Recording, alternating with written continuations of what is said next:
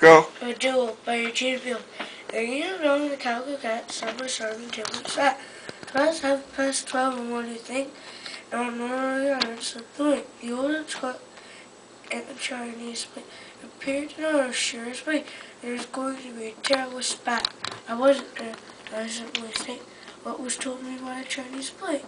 And you don't talk about a long couple cat by me. Snails lived an hour or so with bitter kingdom and calico, while the old Dutch clock and chimney placed elbow his hands before his face, for always it turned the family rules. Now mind, I won't tell you but the old Dutch clock declares his trill. The Chinese plate a very no tea would show with you, but but him no and the calico got all this man double that memory to the claw and the awfulest way you ever saw, and oh how the king and the calico flew. Don't vent that exactly. I got my news memory on this way.